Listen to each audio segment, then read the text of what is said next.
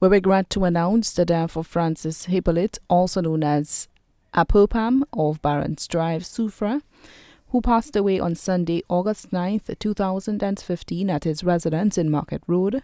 He was 51 years.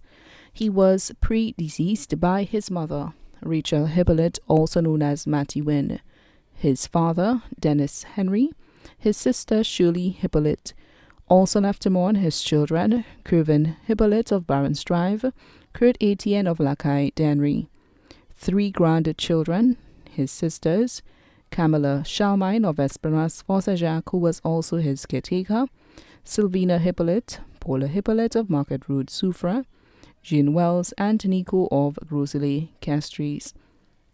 His brothers, Francis Hippolyte of Barons Drive, Cyril Hippolyte, also known as Stowe, who was also his caretaker, Cecil Hippolyte, Peter Hippolyte, all of Barons Drive, Soufrière, 17 nieces, including Cindy Charlemagne, 12 nephews, 12 grandnephews, 10 grandnieces, his aunt, Augustina Nelson of Wingsville, Soufrière, his uncles, Van Roy Gilbert of Palmer, Soufrière, Joe Gilbert of Bridge Street, Soufrière, cousins Jeanette Nelson, also known as Astro, Calixta Nelson, also known as Baby, Luella Alce of Lenny's Hill, Soufrière, Vincentia Castang of Hill 20, Babonneau, Majo and Stella Charlemagne of Myers Bridge, Gertrude Casabon.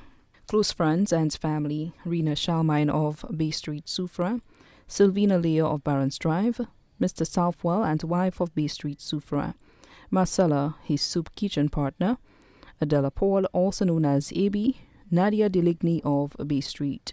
Also left on the Henry family of Soufrière and Vieux-Fort, the Leo family, the Je and Hippolyte family of Zeno, the Alce and Regis family of Soufrière, the Casabo family, the Surville family of Palmas, the boys of Market Road, the Barons Drive fishermen, and the staff of the Soufrière Soup Kitchen.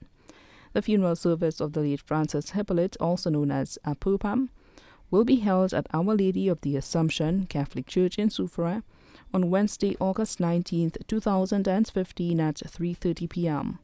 And then the body will be laid to rest at the Soufrière Cemetery. The body now lies at Rambali's funeral parlor, Latuni Vieux-Fort. May his soul rest in peace.